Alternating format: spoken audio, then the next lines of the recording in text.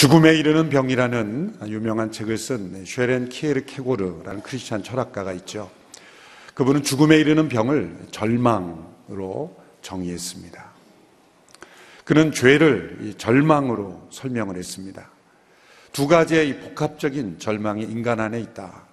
하나는 우리 인간이 하나님 만드신 우리 있는 그대로의 나의 일을 포기하고 자기 자신이 아니기를 원하는 절망에 빠질 때 우리는 죄 가운데 거하게 된다.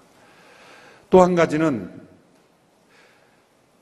자기 자신이기를 고집할 때, 자기 자신이 되기를 원할 때 절망에 빠진다. 같은 말이지만 비슷한 말인 것 같지만 전혀 다른 의미를 포함하고 있죠. 하나님이 만드신 나 자신이기를 포기하고 자기 자신이 아니기를 원할 때 우리는 질투하고 원망하고 또 불평하고 또 하나님 앞에 불순종하게 되는 것이죠. 이것을 가리켜 연약함의 절망이다. 연약함이기 때문에 빠지는 절망이다. 그렇게 표현했습니다. 또 한 가지는 하나님을 의존해야만 하는 우리가 스스로 존재하기를 원하는 자기 자신이기를 고집하는 그런 절망. 이것을 반항의 절망이다. 그렇게 설명했습니다. 그래서 우리는 하나님을 배반하고 불순종하고 또 스스로를 의지하며 살아가는 인생이 되기 때문에 우리가 절망에 빠지는 것이다. 이렇게 설명을 했습니다. 우리는 사울의 모습에서 어, 이러한 절망을 볼 수가 있습니다. 그는 자기 자신 이기를 원하지 않았기 때문에 다윗을 질투했고 원망했고 그리고 인생을 낭비했습니다.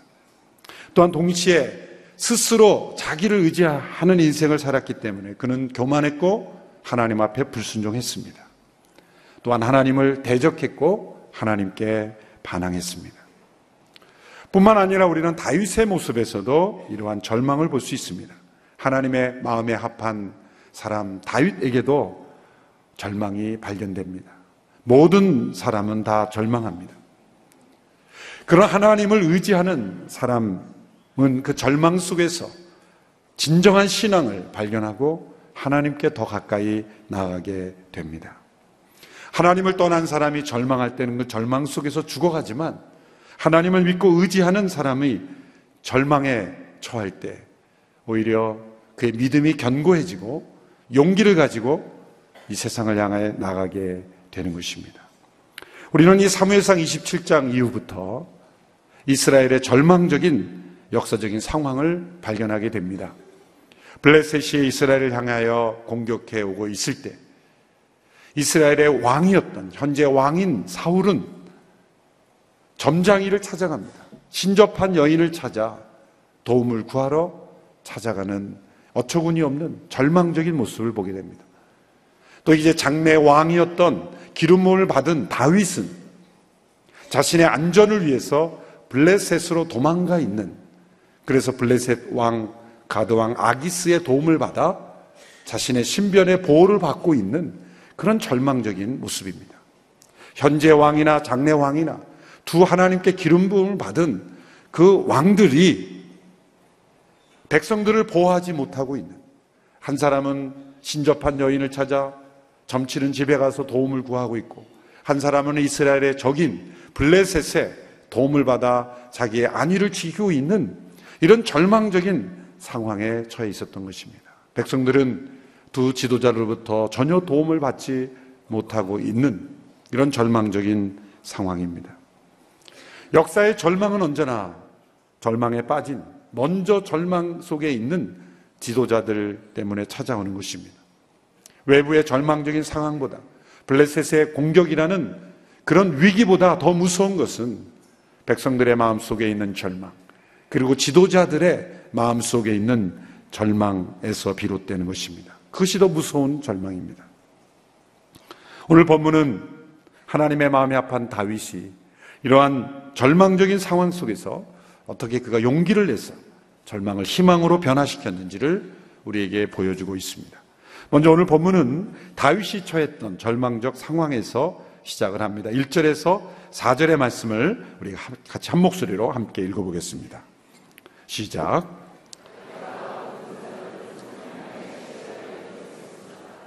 그러나 그때는 이미 아말렉 사람들이 남부와 시글락을 습격한 뒤였습니다. 그들은 시글락을 공격하고 불태웠으며 노소를 불문하고 여자들과 거기 있던 사람들을 포로로 잡아갔습니다. 아무도 죽이지는 않았지만 모두 데리고 가 버린 것이었습니다. 다윗과 그의 군사들이 시글락에 도착해서 보니 그곳은 이미 모두 불타버렸고 그 아내와 아들, 딸들은 포로로 잡혀간 뒤였습니다. 다윗과 그의 군사들은 힘이 다 빠져 더 이상 울지도 못할 정도로 소리 높여 울었습니다. 자, 이 상황은 다윗과 600명의 군사들이 가족들과 함께 살고 있던 이 600명에는 가족들이 포함되지 않는 것입니다. 그러나 실제적으로 실제적으로 말하면 거의 한 아, 가족들까지 다 하면 아, 거의 1000명이 육박한 큰 공동체가 됐겠죠. 그들이 지금 살고 있는 것은 시글락이라는 곳입니다. 이 시글락이라는 곳에 아말렉 사람들이 쳐들어와서 3일 동안 다윗과 600명의 군사들이 자리를 비운 동안 그 시글락을 습격해 와서 모든 가족들을 다 잡아간 것입니다. 그리고 마을을 다 불태운 것입니다. 3일 만에 가족들이 있는 시글락에 돌아온 다윗과 600명의 군사들은 얼마나 가족을 그리워했겠습니까? 함께 식사하며 피곤을 풀며 기뻐하며 삶을 나누는 그런 모습을 그리워하며 지친 몸을 가지고 돌아왔지만 그들 앞에 펼쳐진 광경은 불타버린 그러한 마을들의 모습이었고 그리고 사랑하는 가족들은 한 사람도 찾아볼 수 없을 정도로 다 끌려간 상태였습니다. 어쩌면 그들은 불에 타 죽지는 않았나 죄를 뒤지며 그 가족들을 울부짖으며 찾았을 겁니다. 그러나 한 사람도 찾지 못했습니다. 그들 앞에 펼쳐지니 절망적인 상황, 그거보다 더 무서운 상황이 벌어졌습니다. 그것은 다윗과 함께 했던 600명의 군사들이 다윗을 향하여 책임을 추궁하면서 이 모든 위기는 바로 지도자 다윗이 잘못 판단했기 때문이다. 가족들을 지킬 군사들을 배치하지 않았고 우리가 이곳에 와서 사는 것도 다윗의 잘못된 판단이기 때문에 다윗을 죽여야 한다라고 하면서 돌로 다윗을 쳐 죽이려는 그런 위급한 상황이 발생한 겁니다. 6절의 말씀을 보십시오. 6절 함께 읽습니다. 시작. 백성들은 모두 자기 자녀들로 인해 슬픈 나머지 다윗을 돌로 쳐 죽이자고 했습니다. 다윗은 너무나 괴로웠습니다. 여기까지, 여기까지 읽겠습니다. 다윗은 너무나 괴로웠습니다. 자, 600명의 군사들이 자신의 가족들이 다 뺏긴 것을, 잡혀간 것을 보고 다윗을 향하여 책임을 묻는 것입니다.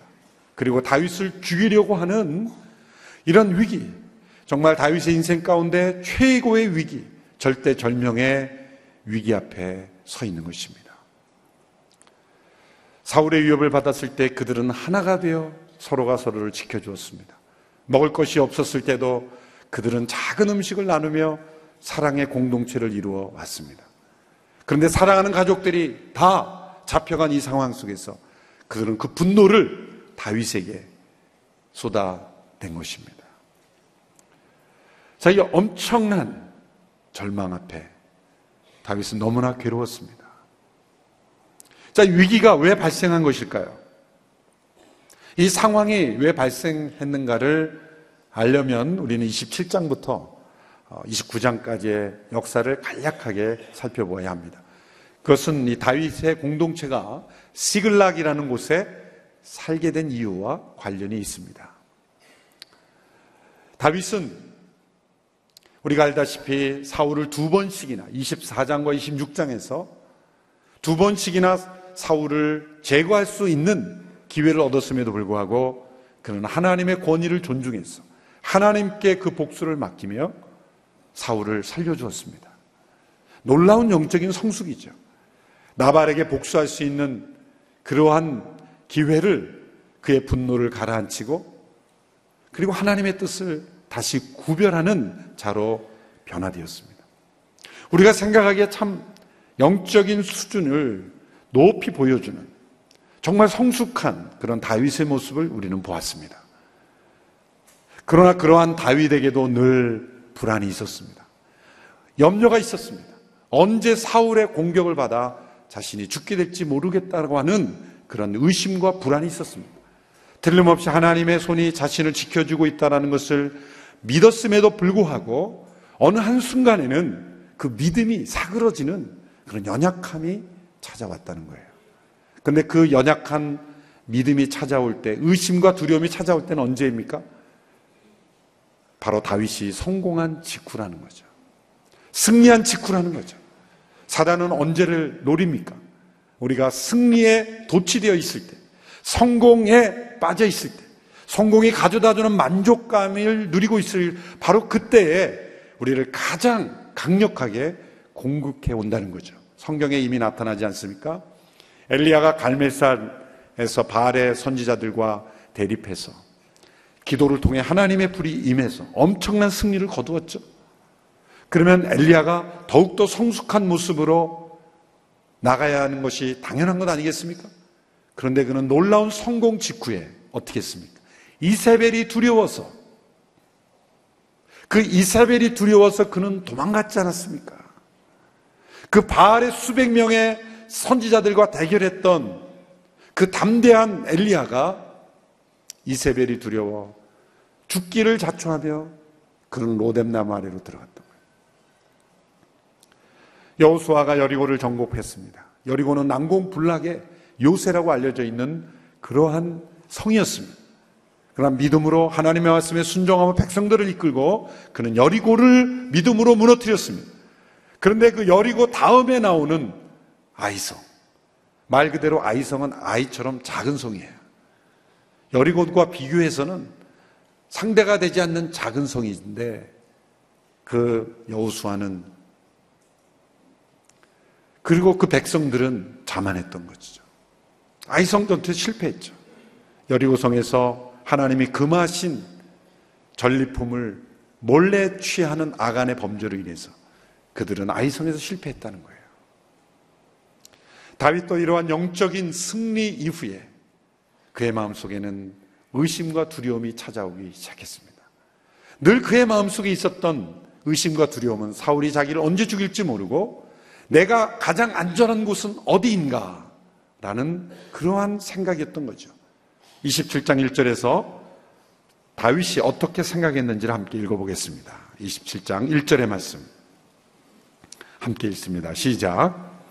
다윗은 속으로 생각했습니다. 이러다가는 머지않아 나는 사울의 손에 죽게 될 것이다. 내가 할 수 있는 최선의 방법은 블레셋 사람들의 땅으로 도망치는 것이다. 그러면 사울이 이스라엘 안에서 나를 찾기를 그만둘 것이고 그렇게 되면 나는 그의 손에서 해방될 것이다. 이게 다윗의 연약함, 절망입니다. 나는 머지않아 사울의 손에 죽게 될 것이다. 마치 예언하듯 그렇게 생각하고 있어요. 지금까지 하나님께서 광야를 지나면서 보호해 주신 그 손길을 생각하면 이러한 생각을 하지 말았어야 되는데 더군다나 그가 블레셋에 이미 한번 도망가서 미친 척하고 도망 나왔지 않습니까? 그러나 그는 여전히 가장 안전한 땅이 블레셋 땅이라고 그렇게 생각하고 있는 거예요. 왜? 우리의 이스라엘의 대적이기 때문에. 내가 블레셋으로 도망가면 사울이 더 이상 거기까지는 따라오지 않을 거다. 따라갈 수가 없죠. 그럼 전쟁을 일으키는 것인가요? 여러분, 하나님의 사람 다윗에게도 때로 이런 절망적인 생각이 찾아오는 거죠. 의심이 찾아오고 두려움이 찾아오고. 그러나 기억할 것은 이런 의심과 두려움을 따라 선택한 길은 반드시 우리를 더 큰 절망적인 상황으로 인도한다는 거죠. 되게 그런 말이 있습니다. 사람은 악을 행하기에 빠르다. 그리고 절망적인 상황에서 더 빨리 그 절망을 만들어내는 거죠. 다윗의 마음속에 이런 의심과 불안이 찾아오고 두려움이 찾아왔을 때 그런 블레셋으로 건너가기로 결정한 것입니다. 하나님께 질문하지 않고 기도하지 않고 기도를 잃어버렸을 때 우리에게는 언제나 절망적인 상황이 찾아올 수 있다는 거죠. 승리를 주신 하나님을 바라보지 않고 승리 자체만을 바라볼 때 우리는 반드시 실패할 수밖에 없게 된다는 것을 우리는 여기서 발견하게 되는 것입니다. 그가 혼자 있을 때는 혼자 블레셋으로 도망가서 미친 척하고 도망왔지만 이제는 600명의 군사들과 그의 가족들까지 함께 집단 망명을 한 겁니다. 그러나 다윗의 뜻대로 진행되었습니다. 가드왕 아기스는 이제 소문이 났죠. 다윗이 사울의 위협을 받아 도망 다니고 있다는 것이 이제 이웃 국가들에게도 다 소문이 났기 때문에 이제 블레셋 사람들은 다윗이 우리 편이다라는 확신을 가지게 되었고 다윗은 그 확신을 이용해서 연기를 했던 것입니다. 날이 갈수록 다윗의 연기력은 더 훌륭해지고 있어요. 본심으로 그가 블레셋 사람이 되고 싶은 것은 아닙니다. 그 마음을 숨기고 그는 마치 블레셋과 한편인 것처럼 그 왕과 사람들을 속이고 600명의 군사들과 그 공동체를 집단 이주를 시킨 겁니다. 그래서 그 블레셋 왕에게 받은 마을이 바로 이 시글락이라는 마을인 거죠. 현재는 블레셋 영토지만 원래 여호수아가 가난을 정복할 때는 시몬 지파에게 할당했던 지파인데 정복하지 못함으로 블레셋의 영토가 되어 있던 겁니다. 그래서 시글락에 살았던 거예요. 그는 그 시글락에서 1년 4개월을 살았습니다. 그 1년 4개월 동안 정말 아무 일도 없었습니다. 겉으로 볼 때는 안전했습니다. 다윗이 생각했던 것처럼 사울은 더 이상 다윗을 추적해 오지 않았습니다. 포기했습니다. 그래서 그는 1년 4개월 동안 아무 일도 없었던 것처럼 시글락에 잘 살고 있었어요. 다윗은 마치 블레셋의 한 편인 것처럼 블레셋을 돕는 것처럼 그렇게 위장하며 살았습니다. 때로는 위기에 빠질 때도 있었어요. 딜레마에 빠질 때도 있었어요. 블레셋이 이제 이스라엘을 향하여 쳐들어갈 때 가드왕 아기스가 다윗에게 같이 가자 그럽니다. 당신과 당신의 군사들도 이제는 우리 편인이 이스라엘 향해서 싸우러 가자. 자, 다윗이 어떻게 해야만 했습니까? 만일 다윗이 같이 싸우러 가지 않겠다고 거절하면 어떻게 됩니까? 그동안에 연기했던 것이 다 거짓이라는 게 들통나는 거죠. 만일 이스라엘의 대적이 되어서 블레셋의 한 일원으로 싸우러 가면 어떻게 된가? 이제는 다윗은 이스라엘 왕이 될 자격이 없어져 버리는 거죠. 완전 딜레마에 빠진 겁니다. 여러분 하나님의 뜻 바깥에 살아가는 인생은 모든 것이 다 딜레마입니다. 딜레마. 어느 쪽도 선택하기 어려운 그런 딜레마에 빠지게 되는 거죠. 그런데 하나님의 간섭하셔서 다윗을 건져 주십니다. 가드 왕은 지금 100% 다윗을 믿고 있어요. 이 다윗은 이제 확실히 블레셋 사람이다. 내 편이다. 그렇게 믿고 전쟁에 같이 나가자 그럽니다. 다윗은 어쩔 수 없이 짐을 챙겨서 600명의 군사를 끌고 간 겁니다. 그래서 시글락을 떠난 거예요. 그런데 사우, 이 가이, 아기스 왕의 신하들이 반발을 합니다. 못 믿겠다는 거죠. 그가 한때 골리앗을 무너뜨렸던 장수 아닙니까? 우리는 그 사람 못 믿습니다. 그 사람이 우리를 공격하면 어떻게 합니까? 이 블레셋 신하들의 마음에 불안한 마음이 일어나서 다윗이 결국 전쟁에 나가지 못하게 된 거예요. 할렐루야. 하나님의 은혜죠. 하나님의 은혜예요. 다윗은 돌아오면서 아마 콧노래를 부르며 돌아왔을 거예요. 전쟁할 수도 없고 안 할 수도 없는 상황에서 일단은 몸을 움직였어요. 그 상황 속에서 하나님이 건져 주신 거예요. 하나님의 특별한 보호로 다윗을 건져 주신 거예요. 그래서 3일 동안 그 집을 비우고 나갔다 돌아오는 그 사이에 아말렉이 쳐들어와서 쑥대밭을 만들어 놓은 거예요. 그러니까 그 다윗과 함께한 600명의 군사들이 다윗에게 책임을 문 거죠. 우리가 시글락에 와게 산 것도 당신이 선택한 것이고 그리고 1년 4개월 동안 여기서 살면서 그리고 그 전쟁에 나갈 때 다 배치해 놓지 않고 그냥 나가 모든 것을 다 다윗의 책임으로 돌리고 다윗을 죽이려고 달려든 것입니다. 자, 이런 절망적인 상황 속에서 다윗이 어떻게 반응했습니까? 여러분, 절망적인 상황은 사람을 두 부류의 사람으로 구분합니다. 사람을 최선의 사람으로 만들든지 아니면 최악의 사람으로 만들든지.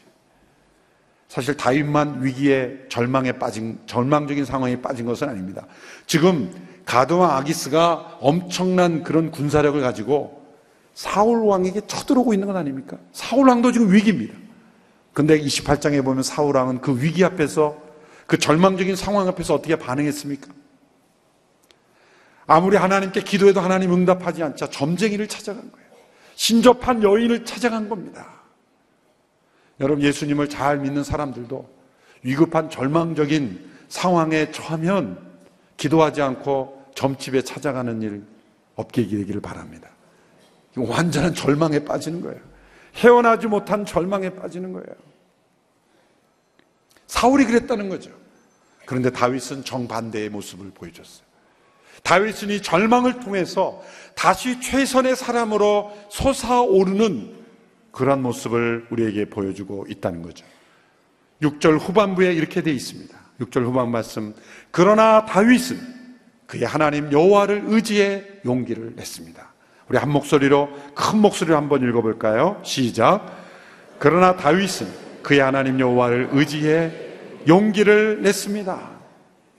이 말할 수 없는 절망적인 상황, 모든 가족들이 다 잡혀가고 그리고 마을은 다 불에 타 재가 돼버리고 그리고 자신의 신하들까지 부하들까지 동료들까지도 자신을 죽이려고 하고 있는 이 절대 절명의 위기 앞에서 다윗은 하나님을 의지했다는 거죠. 다윗에게 찾아온 이 절망은 오히려 그를 용기 있게 만들었고 하나님을 의지하게 만들었습니다. 어떻게 이 절망 속에서 이런 용기를 가질 수 있겠습니까? 다윗에 찾아온 이 절망은 자기의 뜻과 계획과 자기를 의지했던 것을 끊어내는 하나님의 손길이었기 때문이에요. 왜 우리에게 절망이 찾아옵니까? 우리가 자기 자신을 의지하는 모든 인생을 그런 생각을 그런 계획을 하나님이 끊어내는 길로서 우리를 절망의 상황으로 몰아가시는 거예요.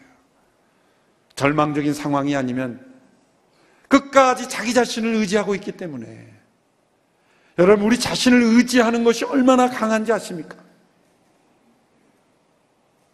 절망적인 상황이 아니고는 자기의 힘을 빼지 않기 때문에 자기가 잡았던 것을 내려놓지 않기 때문에 자기가 의지할 수 있는 모든 것, 자기 자신의 생각과 꾀를 내려놓지 않기 때문이죠. 그렇게 성숙한 다윗도 자기 안전을 생각하는 의심과 두려움이 찾아올 때 블레셋으로 가서 1년 4, 1년 4개월 동안 머무르지 않았습니다. 그동안 그는 안전하다고 생각했을 겁니다. 평화롭다고 생각했을 겁니다. 그러나 하나님 밖에서 누리는 안전 평화는 거짓된 평화입니다. 일시적인 안전입니다. 결코 안전할 수 없습니다. 언젠가 하나님께서 이런 절망적인 상황을 통해서 다시 돌아오게 하시는 그런 일을 경험할 수밖에 없는 거죠. 그래서 이 그 마을이 불에 탔고 가족들이 다 잡혀갔고 그리고 동료들이 자신을 대적하는 그 절망 속에서 다윗은 영혼이 깬 거예요. 정신이 바짝 난 겁니다. 하나님을 찾지 않았던 지난 1년 4개월간의 자신의 삶에 그 불신앙을 끊어내는 그런 일을 하게 된 거예요. 그래서 다윗에게서 이 절망은 축복의 통로가 된 겁니다. 하나님을 의지하지 않았던 자신의 생각과 계획을 의지했던 다윗이 그 마지막 한 가지 생각도 이제는 완전히 제거해 버리는 그러한 기회가 된 것이죠. 그가 왕이 되기 이전에 마지막 찾아온 시련이었습니다. 어쩌면 다윗은 이렇게 합리화할 수 있었을 거예요. 예전에는 나 혼자였지만 이제는 600명의 사람들과 가족들이 천여 명의 이 사람들을 살려야 되지 않습니까? 나 때문에 이 모든 사람들이 다 죽게 되게 할 수는 없지 않습니까? 그래서 나는 블레셋으로 갈 수밖에 없었습니다. 나름대로 그렇게 합리화할 수 있을 거예요. 초대교회 교부였던 터툴리안이라는 분에게 어떤 성도가 찾아와서 이렇게 상담을 했다고 합니다. 교부님, 저도 하나님의 뜻이 무엇인지를 알고 그리고 예수 그리스도를 믿는 사람이지만 어떻게 해야 될지 모르겠습니다. 제가 생각하기에 제 직업은 옳지 않습니다. 그러나 저도 살아야 하지 않겠습니까? 그때 더툴리안이 뭐라고 대답했는지 아십니까? 꼭 살아야 하겠습니까? 꼭 살아야 하겠습니까? 충격적인 말이죠. 하나님의 뜻 밖에서 추구하는 우리의 안전과 우리의 평화는 결코 안전할 수 없습니다. 1년 반, 1년 4개월 동안 시글락에서 다윗은 내 생각이 옳았고 나는 내 식솔들을 지켰고 내 공동체를 지켰다라고 생각하지만 더 큰 위기로 그가 인도한 것이죠. 광야를 지나면서 얼마나 힘들었겠습니까? 광야에서 그 많은 무리들을 끌고 그들을 먹여 살리고 그들을 지키는 것이 결코 쉽지는 않았을 겁니다. 그러나 살아가기가 힘겨운 광야의 여정이었지만 하나님이 그들의 돕는 자가 되어주시고 방패가 되어주시고 공급자가 되어주시고 바로 그 신앙 가운데 머무는 것이 힘들지만 가장 안전한 삶인 줄로 믿습니다. 그러나 당장 눈에 보이는 어려움을 피해서 블레셋 진영으로 건너가 시글락에서 1년 4개월 동안을 안전하고 잘 살았다고 생각하지만 그러나 하나님은 절대로 하나님의 백성들을 하나님의 뜻 밖에 내버려 두실 수가 없는 분이십니다. 절망적인 상황을 통해 하나님은 다윗과 그 일행을 다시 건져 올리시는 거예요. 이제 다윗이 영혼이 깨어 용기를 찾고 하나님께 다시 기도하기 시작합니다. 제사장 아비아비들에게 아비아들에게 하나님의 뜻을 에봇을 통해 묻죠. 내가 아말렉을 뒤쫓아가서 싸워야 됩니까? 말아야 됩니까? 사실 인간적인 상식적인 생각에서는 물어볼 필요도 없이 바로 달려가야 돼요. 그렇죠? 가족들이 잡혀갔는데 가만히 있겠습니까? 그냥 달려가는 것이 당연한 일이죠. 그러나 다윗은 다시 묻습니다. 만약 하나님의 뜻이 쫓아가지 않는 것이라면 그는 포기할 마음도 있는 거예요. 무서운 신앙이죠. 하나님이 가라! 뒤쫓아가라. 그래서 그는 달려가게 됐습니다.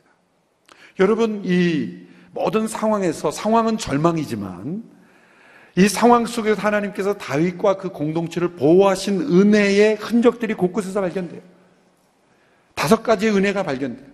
첫째로 아말렉 사람들이 그 마을을 공격했지만 한 사람도 죽이지는 않았어요. 물론 그들의 마음은 다 종으로 팔려고 생각했던 거지만 한 사람도 생명을 해치지 않도록 보호하셨어요. 또 두 번째 다윗이 3일이 아니라 일주일 후에 왔더라면 쫓아갈 수 있는 시간은 지나버리는 거예요. 그 타이밍이 얼마나 놀라운지 모릅니다. 또 한때 다윗을 죽이려고 했던 달려들었던 그 모든 군사들을 다 설득해서 함께 600명의 군사들이 쫓아갈 수 있는 그러한 리더십을 하나님께서 허락해 주셨다는 거예요. 근데 놀라운 일이 발견됩니다. 아말렉이 어디로 도망갔는지 어떻게 합니까? 그렇죠? 길을 잘못 들어갔다가는 이건 계속 헤매기만 하는 거예요. 무작정 떠났지만 이 어디로 가야 될지 압니까? 그런데 한 애굽 종이 발견이 됩니다. 광야에서. 그 종은 아말렉 진영의 종이었는데 병이 들어서 더 이상은 쓸모가 없다고 생각해서 그 한 노예인 애굽 소년을 버린 거예요. 죽으라고 광야에 버린 거예요. 신음하고 있는 며칠째 신음하고 있는 그 종을 발견해서 다윗과 그 공동체는 그를 살려줍니다. 먹여주고 치료해주고 그를 살려줍니다. 그 애굽 소년은 그 은혜에 감사해서 다윗에게 아말렉 군이 있는 위치를 가르쳐 줍니다. 얼마나 놀라운 하나님의 섭리입니까? 여러분, 광야에서 우리가 어디로 가야 될지 모를 때 우리가 해야 될 것은 뭡니까? 더욱 힘써 선행을 하십시오. 전혀 이 상황과 상관없는 것 같이 길에 버려져 있는 한 사람을 돕고 치료해 주는 것이 그 사람에게 키가 있다는 거예요. 여러분 이 삶을 평생에 한번 적용해 보시기를 축원합니다. 내가 지금 문제를 해결해야 되는데 이 문제를 풀 수 있는 키가 없어. 열쇠가 없어. 지도가 없어요. 그럴 때 내 주변에 있는 이 버림받은 한 노예 소년과 같은 사람을 보살펴 줘 보십시오. 하나님은 그 사람에게 열쇠를 맡겨두셨어요. 그 사람에게 보물 지도를 맡겨두셨어요. 그 사람에게 나아갈 길을 가르쳐 주셨습니다. 그 노예 소년이 감사함으로 이 아말렉에 있는 위치를 가르쳐 줬어. 그곳을 습격하게 되죠.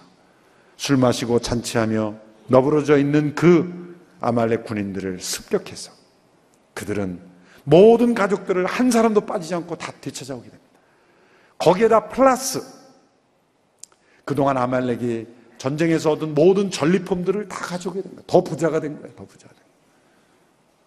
이 놀라운 역전을 하나님께서 일으켜 주셨지 않습니까? 그 출발이 뭡니까? 다윗이 하나님을 의지하고 하나님의 뜻을 다시 구하게 되었고 그리고 전쟁을 하러 가는 중에도 600명의 군사들이 너무 피곤하잖아요. 3일 동안을 걸어왔는데 또다시 전쟁을 하러 가니 200명이 낙오를 한 거예요. 부솔 시내에서 낙오를 했어요. 그러나 그들을 정지하지 않고 200명을 쉬도록 만들어주고 전쟁할 수 있는 400명만 데리고 간 거예요. 이 과정에서 본 다윗의 인격에서 예수님의 인격이 나타나요. 자신을 죽이려고 달려드는 그 군사들 앞에서 그는 온유와 인내로 그들을 품었습니다. 뿐만 아니라 낙오하는 200명들을 그들을 정죄하지 않고 그들을 잘 쉴 수 있게 관대하게 베풀어 주셨어요. 버림받은 한 애굽 소년을 돌보았습니다. 클라이막스는 어디입니까? 전쟁에서 승리해서 전리품을 가지고 돌아왔을 때 그 전리품을 싸우지 않은 200명의 군사들에게도 동등하게 나눠줬다는 거예요. 고함치고 난리치는 사람이 일부 있었죠. 저 사람은 싸우지도 않았는데 가족만 만나면 되지 왜 이걸 줍니까? 항상 공동체 보면 그런 사람들이 있어요. 그러나 다윗은 아니다. 저들도 우리와 동일하게 나누어야 한다. 그것이 이스라엘의 규례가 되어서 그 중요한 원칙이 되었다는 것을 성경은 기록하고 있습니다. 얼마나 아름다운 그리스도의 인격입니까? 이 부솔 신의 부솔이라는 단어의 뜻은 기쁜 소식이라는 뜻이랍니다. 복음, 가스펠이에요. 다윗이 부솔 시내에서 그 전리품을 동등하게 나누고 그 600명의 군사들과 함께 승리의 노래를 부르며 다시 하나님을 예비하는 공동체로 변화되었다는 거예요. 무엇이 다윗을 이렇게 다시 신앙의 사람으로 만들었습니까? 절망입니다. 절망적인 상황이 다윗을 믿음의 사람으로 다시 이 공동체를 사랑의 공동체로 모든 사람을 동등하게 사랑하는 그런 아름다운 천국의 공동체로 만들어 주었다는 거예요. 때로 우리에게 찾아오는 절망적 상황은 우리를 무너뜨리려는 하나님의 징벌이 아니라 우리를 다시 바로 잡으시려는 우리를 교정하시려는 하나님 품으로 다시 기도하는 백성으로 우리를 변화시키려는 하나님의 긴급한 조치라는 것을 우리가 믿음으로 받아들일 수 있게 되기를 바랍니다. 절망적 상황 속에 사울처럼 신접한 여인을 찾아 완전히 죽음에 이르는 자가 되지 아니하고 그 절망적인 상황 속에 다시 하나님을 바라봄으로 용기를 얻어서 믿음의 가족으로 믿음의 공동체로 다시 일어나는 우리 모두가 되기를 축원합니다. 구덩이가 깊을수록 바라볼 수 있는 건 하늘밖에 없습니다. 구덩이가 깊고 좁을수록 보이는 것은 하늘밖에 없죠. 때로 우리가 하나님을 바라보지 않을 때 하나님은 깊고 어두운 구덩이로 우리를 던지십니다. 그것은 우리를 버리신 것이 아니라 하늘을 바라보게 하시려고 하나님만 뚜렷이 바라보게 하시려고 우리를 절망의 상황으로 던지시는 줄로 믿습니다. 그 상황 속에 우리가 하나님을 바랄 때 우리는 독수리처럼 비상하게 될 것이며 그리고 또다시 승리를 경험하게 될 것이며 또 하나님의 뜻 가운데 형통케 될 줄로 믿습니다. 절망에 빠져 있는 성도들 있으십니까? 그 절망이 하나님의 축복의 통로라는 것을 믿음으로 확신할 수 있게 되기를 바랍니다. 나 자신의 계획과 생각을 완전히 끊어내는 하나님의 도구라는 것을 믿음으로 받아들이시기를 바랍니다. 하나님을 의지하여 용기를 냈던 다윗처럼 다시 하나님을 의지하며 용기를 내며 승리하시는 모든 성도들 다 될 수 있게 되기를 주님의 이름으로 축원합니다. 기도하겠습니다. 이 시간 잠시 함께 기도하겠습니다. 하나님을 의지했던 다윗. 그러나 때로 자기를 의지하는 인생으로 너무나 쉽게 변해버리는 모습, 바로 우리의 모습입니다. 입술로는 하나님을 예비하지만 마음으로는 자기를 예비하는 저희들입니다. 하나님의 약속을 온전히 의지하지 못하고 나의 계획과 꾀를 의지하는 저희들의 모습입니다. 그래서 우리에게는 때로 절망적인 상황을 허락하십니다. 내 힘과 내 계획이 완전히 무너지는 그 절망 속에 하나님은 다시 우리를 만나주기를 원하십니다. 그리고 영광 받기를 원하십니다.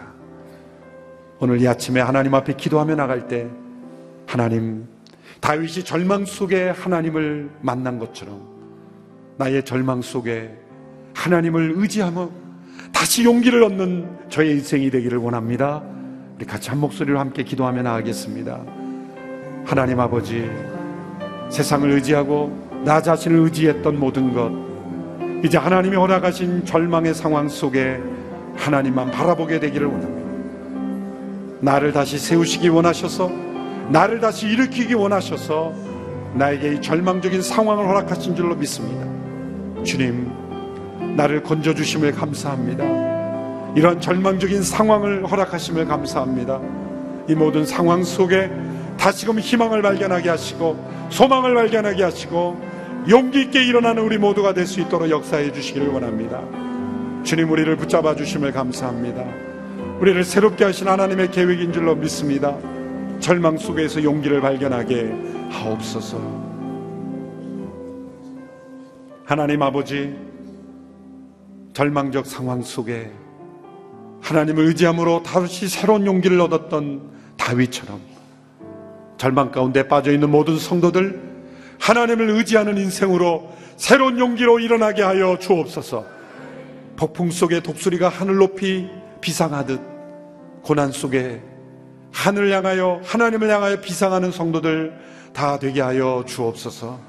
우리 자신을 의지함으로 연약함에 절망에 빠지지 않게 하시고 하나님 앞에 불순하는 불순종하는 반항에 빠지지 않게 하여 주시옵시고 절망 속에 새로운 믿음으로 승리케 하여 주시옵소서.